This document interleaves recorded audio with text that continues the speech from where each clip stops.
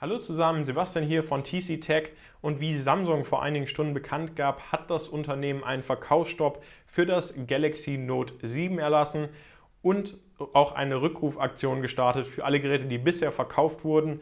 Was ist passiert? Ganz einfach, Samsung hat das Note 7 vor einigen Wochen auf den Markt gebracht, in der Zwischenzeit 2,5 Millionen Geräte verkauft und mittlerweile gab es schon 31 Fälle, bei denen das Note 7 während des Ladevorgangs entweder Feuer gefangen hat oder sogar explodiert ist. Samsung geht aktuell davon aus, dass 24 von einer Million verkauften Geräten von diesem Problem betroffen sind. Das heißt, insgesamt sollten es unter 100 Geräte sein. Aber es scheint auch so, als ob Samsung nicht wirklich wüsste, welche Geräte jetzt genau diese Batteriezellen haben, die einen Defekt aufweisen. Das heißt, man kann das Note 7 jetzt nicht mehr kaufen und alle Kunden, die bisher schon ein Note 7 haben, werden wahrscheinlich in den kommenden Tagen und Wochen angeschrieben, um ein Austauschgerät zu erhalten. Es ist natürlich ein Riesenproblem, was auch so eigentlich noch nie da gewesen ist, dass ein Hersteller vor allem von einem so großen Smartphone, was die Verkaufszahlen wie das Note 7 angeht, einen kompletten Verkaufsstopp erlässt und auch wahrscheinlich alle Geräte zurückrufen muss. Natürlich ist es von Samsung erstmal eine gute Aktion, weil es zeigt, dass die Sicherheit der Kunden in erster Linie steht und das Wichtigste ist. Aber es ist natürlich für Samsung auch ein Riesenproblem, weil sich das Unternehmen erst jetzt in den letzten Monaten wirklich erholen konnte von schlechten Verkaufszahlen. Das Galaxy S7 war ein großer Erfolg und jetzt das Note 7 von den Vorverkaufszahlen sowie jetzt auch von den ersten Verkaufszahlen in den letzten Wochen ebenfalls. Und jetzt muss Samsung alle Geräte zurückrufen und sogar den Verkauf stoppen, was natürlich sozusagen der Super-GAU für das Unternehmen ist.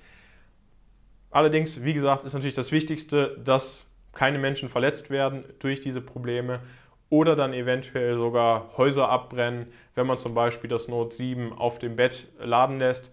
Was können Kunden machen, die jetzt schon ein Note 7 gekauft haben? Im Endeffekt eigentlich nur auf eine Nachricht von Samsung warten und eventuell vorsichtiger sein beim Laden des Smartphones. Wie gesagt, dies vielleicht nicht mehr unbedingt aufs Bett legen, sondern eher auf eine Arbeitsfläche oder auf eine Stein, auf Stein irgendwie, dass eben zumindest dann, falls das Gerät irgendwie Feuer fangen sollte, es nicht auch noch gleichzeitig dann die ganze Wohnung abfackelt.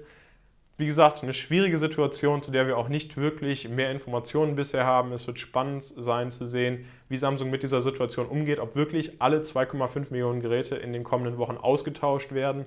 Das würde auf jeden Fall bedeuten, dass wahrscheinlich in den nächsten Wochen überhaupt kein Note 7 mehr verkauft werden können, weil diese ganzen Geräte, die dann erstmal für den Austausch benötigt werden, natürlich dann erstmal produziert werden müssen. Wie gesagt, eine sehr schwierige Situation. Wenn ihr euch ein Note 7 kaufen möchtet oder das wolltet, bevor jetzt diese Informationen rauskamen, dann kann es wie gesagt einige Wochen dauern, bis es wieder im Handel verfügbar sein wird. Mich würde auch dazu interessieren, ob ihr geplant hattet, ein Note 7 zu kaufen und ob diese Akkuprobleme nun eure Entscheidung in irgendeiner Art beeinflussen und ob Samsung vielleicht diese Probleme hätte kommen sehen müssen oder besser testen müssen, damit diese Geräte gar nicht erst verschickt wurden. Wie gesagt, ein sehr schwieriges Thema. Ich hatte mit dem Samsung Kundenservice bisher nur eigentlich wirklich schlechte Erfahrungen und natürlich spricht dieser Fall wieder nicht wirklich für Samsung. Und ich bin sehr gespannt, wie lange dies wirklich dauern wird. Und es kann natürlich auch sehr gut sein, dass dieser Fall nun Apple sehr gut in die Karten spielt. Mit dem iPhone 7 Launch, der jetzt sehr nah äh, vor der Tür steht, könnten natürlich viele potenzielle Kunden auch sagen, okay, Samsung ist mir aktuell nicht sicher genug, was eben diese äh, Brandgefahr angeht ich kaufe mir dann doch lieber wieder ein iPhone. Ich bin mal sehr gespannt, auch was ihr natürlich in den Kommentaren sagt. Liked dieses Video, wenn es euch gefallen hat und abonniert den Kanal für viele weitere Technikvideos, wie zum Beispiel auch einige Videos über das Honor 8, was ich hier im Studio habe.